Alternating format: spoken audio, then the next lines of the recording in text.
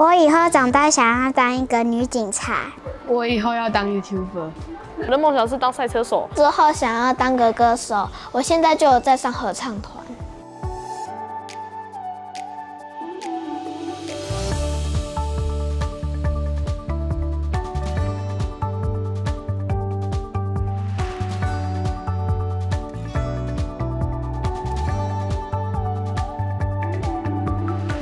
现在的教育啊，是国际化跟科技化的教育，所以呃，如何把资讯教育融入在我们的教育里面，这是我们未来一定要努力的方向。很荣幸，我们霍普国小所有的班级都配置了 VisoNic 的触控荧幕，我想对于呃推动资讯融入教育是非常有帮忙的。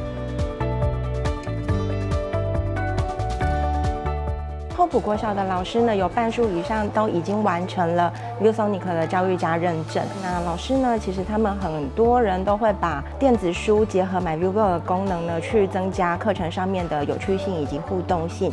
不过呢，我们也有为数不少的老师呢，是非常喜欢自制教材。所以呢，呃，MyViewBook 可以很好的去支持老师，很简单快速的产出自己一个很独特、符合他课程教学的一个教材。ViewSonic 的大屏呢，其实它也有护眼功能，那它其实是可以很好的达到绿蓝光这样子的效果。那我们呢，在教室里面的大电视呢，其实它是镶在黑板的后面。可是呢，我们在图书馆还有呢科教类的班级里面呢，我们会把大屏呢把它放在移动式的脚架上面。那放在移动式的脚架上面的好处就是呢，它可以很方便的、很机动的呢，依照我课程的需求以及属性呢去做移动。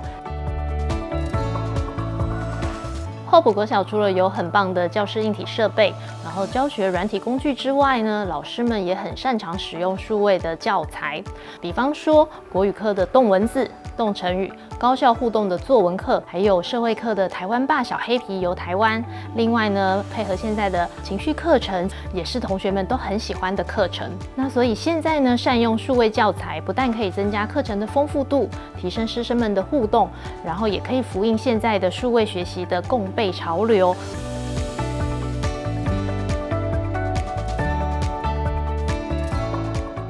通常课堂是使用，比如说你的大屏幕，再搭配教学辅助工具 MyBlueboard，那同时搭配电子书作为教学的资源。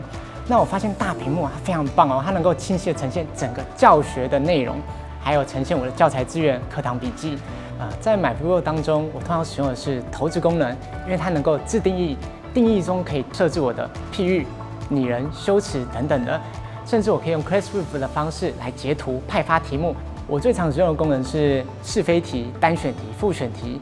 那其中让我最印象深刻的是语音题，因为跟以往电子书或是其他的厂商使用的东西都不一样，让孩子们用表达的方式传达自己的想法。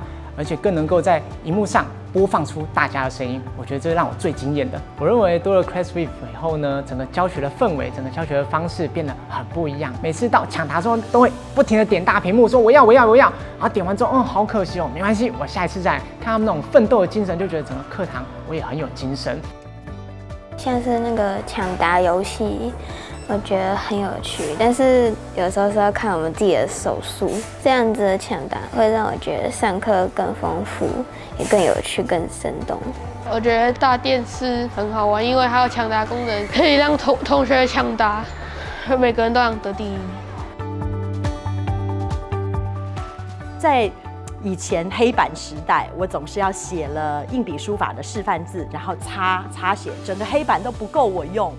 但有了大屏，哇，那个 My View Board 的无线画布真的帮了我很多，无限的伸展示范，随时都不用间断啊。这个我觉得上课变得很活泼，因为大屏呢很方便孩子做互动，所以在游戏竞赛啊、分组竞赛，甚至呢发给他们这个平板，然后分组竞赛的时候，哇，小朋友参与的非常的热烈，所以再也不是像以前一样，孩子只坐在台下，然后听老师上课而已。以前做事情都一定要在电脑桌上才能改变荧幕。现在就只要点一下就可以了。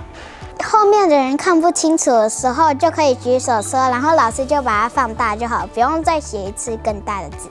以前投影机就是你不能点，然后要用电脑就很麻烦。而且不行直接写字，因为用滑鼠写字非常的难。就是以前都要拉投影幕下来，会有点慢。然后呢，现在只要一打开，哦，就可以马上用了。成为 ViewSonic 呃 Future School，就是我们非常高兴。教育本来就是互相激荡啊，透过数位科技，可以打破国际的隔阂哈，更呃国际村，更地球化。